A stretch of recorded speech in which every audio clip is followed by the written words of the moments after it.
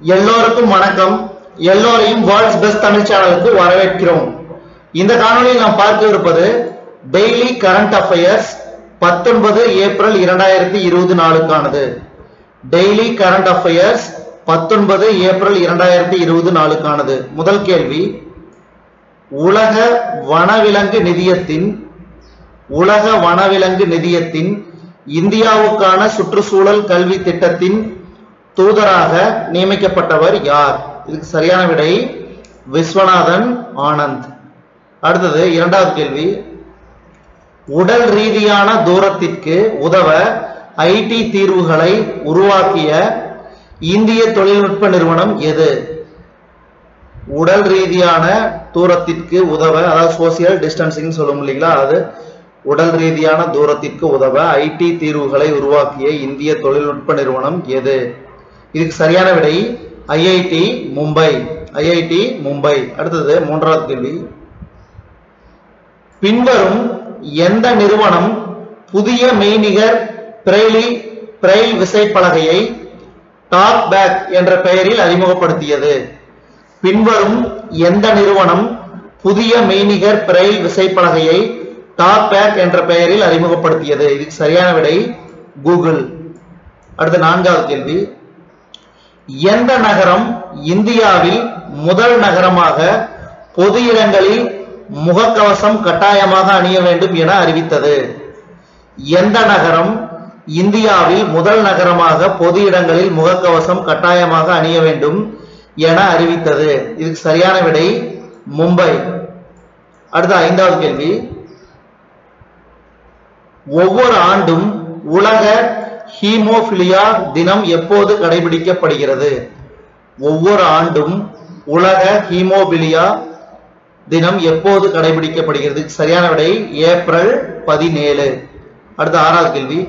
ஒவ்வொரு ஆண்டும் உலக பாரம்பரிய தினம் வேர்ல்டு ஹெரிட்டேஜ் டே எப்போது கடைபிடிக்கப்படுகிறது? ஒவ்வொரு ஆண்டும் உலக பாரம்பரிய தினம் எப்போது கடைபிடிக்கப்படுகிறது? சரியான விடை ஏப்ரல் பதினெட்டு. அடுத்தது ஏழாவது கேள்வி.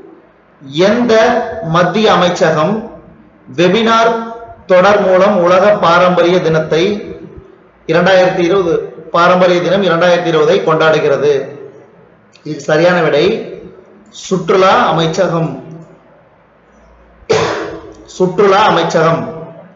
மினிஸ்ட்ரி ஆஃப் டூரிசம் அடுத்தது எட்டாவது கேள்வி. எந்த மாநில அரசு இந்தியாவிலிருந்து செயல்படும் தென்கொரியா நிறுவனத்திடமிருந்து எழுபத்தி ஐந்தாயிரம் உயர்தர விரைவு பரிசோதனை கருவிகளை வாங்கியது. எந்த மாநில அரசு இந்தியாவிலிருந்து செயல்படும் தென்கொரிய நிறுவனத்திடம் இருந்து எழுபத்தி ஐந்தாயிரம் உயர்தர விரைவு பரிசோதனை கருவிகளை வாங்கியது. இதுக்கு சரியான விடை சத்தீஸ்கர். சத்தீஸ்கர் மாநிலத்தின் சுகாதாரத்துறை அமைச்சர் அதாவது சத்தீஸ்கர் மாநிலத்தின் நல்வாழ்வுத்துறை அமைச்சர் யாரு? டி எஸ் சிங் யோ. அடுத்தது ஒன்பதாவது கேள்வி. கரோனாவால் பாதிக்கப்பட்டோரில் அதாவது இந்தியாவில் கரோனாவால் பாதிக்கப்பட்டோரில் எத்தனை சதவீதம் பேர் டப்ளிக் மாநாட்டில் தொடர்புடையவர்கள் என மத்திய சுகாதாரத்துறை அமைச்சகம் தெரிவித்தது. இதுக்கு சரியான விடை இருபத்தி ஒன்பது புள்ளி எட்டு சதவீதம். அதாவது டெல்லியில நிஜாமுதீன் பகுதியில வந்து இந்த தப்லிக் மாநாடு வந்து நடைபெற்றது குறிப்பிடத்தக்கது. இந்த மாநாட்டில் தொடர்புடையவர்கள் இருபத்தி ஒன்பது புள்ளி எட்டு சதவீதம் பேர் இந்த கரோனா நோயால் பாதிக்கப்பட்டவர் என பாதிக்கப்பட்டவர்கள் என மத்திய சுகாதாரத்துறை அமைச்சகம் தெரிவித்தது.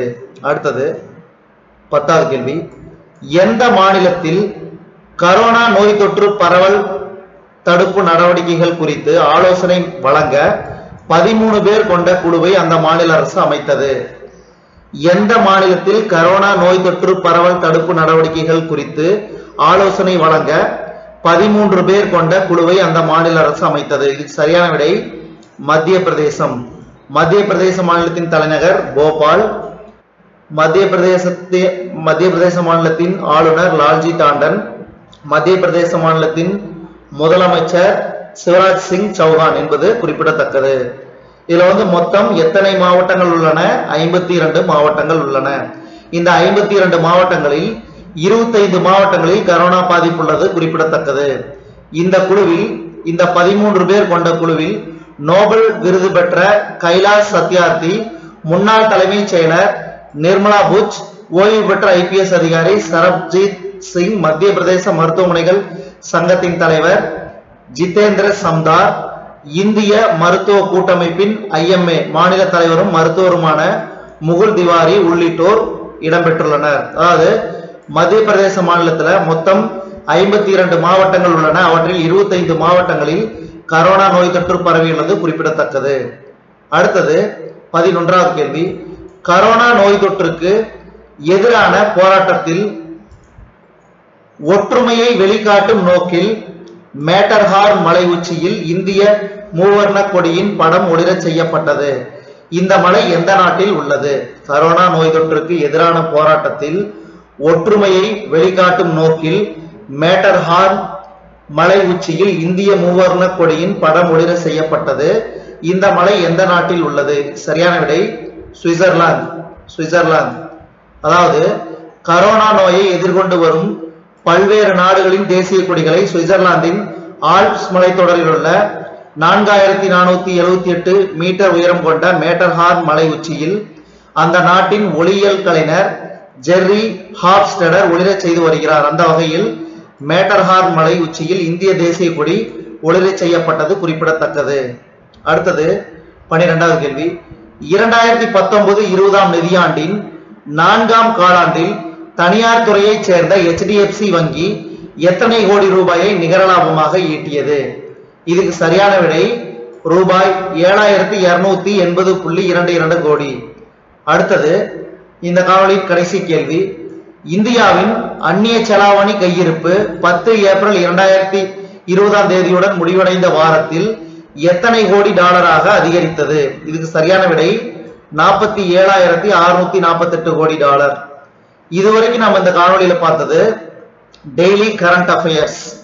அதாவது தினசரி நடப்பு நிகழ்வுகள் பத்தொன்பது ஏப்ரல் இரண்டாயிரத்தி இருபது நாளுக்கானது. இந்த காணொலி உங்களுக்கு பிடிச்சிருந்துச்சுன்னா லைக் பண்ணுங்க கமெண்ட் பண்ணுங்க. மறக்காம இந்த காணொலியை உங்க நண்பர்களுக்கும் மற்றவர்களுக்கும் ஷேர் பண்ணுங்க. இது வரைக்கும் நம்ம வேர்ல்ட்ஸ் பெஸ்ட் தமிழ் சேனலை சப்ஸ்கிரைப் பண்ணாதீங்க சப்ஸ்கிரைப் பண்ணிக்கங்க. கீழே இருக்கிற பெல் பட்டனை பிரஸ் பண்ண மறந்துடாதீங்க. நம்ம வேர்ல்ட்ஸ் பெஸ்ட் தமிழ் சேனல்ல டெய்லி கரண்ட் அஃபேர்ஸ் அதாவது தினசரி நடப்பு நிகழ்வுகள் பத்தொன்பது ஏப்ரல் இரண்டாயிரத்தி இருபது நாளுக்கான காணொலியை நம்ம வேர்ல்ட்ஸ் பெஸ்ட் தமிழ் சேனல் வாயிலாக பார்த்தமைக்கு நன்றி.